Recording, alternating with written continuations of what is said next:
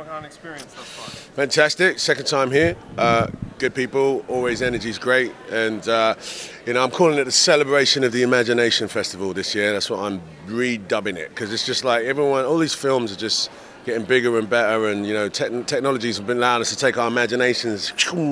So, uh, so I'm excited. And to that point, how is this film going to broaden and expand what we've seen before? Which film? Ghost Rider? Yeah. Ghost Rider 2 is uh, certainly a new version of the, the, the series we know. All right. Uh, I want to say that the last series was effects heavy.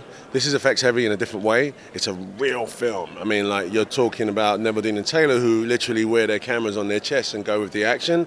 And there's all of that in this film. So there's motorbikes. There's Nick Cage, who is phenomenal and, and delicate, and you know, you know, evolved the character in a different way, you know, and it's a great cast of people. So I'm excited, man. I wasn't a fan of uh, Ghost Rider, this comic, and now I am because of this movie. Yeah, and Nick is obviously a legendarily big comic book fan. I mean, he almost played Superman, and obviously he was Ghost Rider before.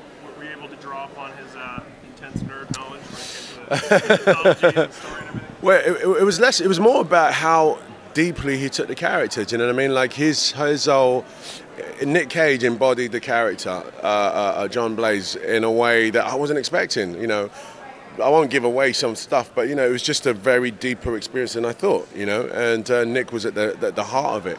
And my character, I play Moreau in this film, who is a monk.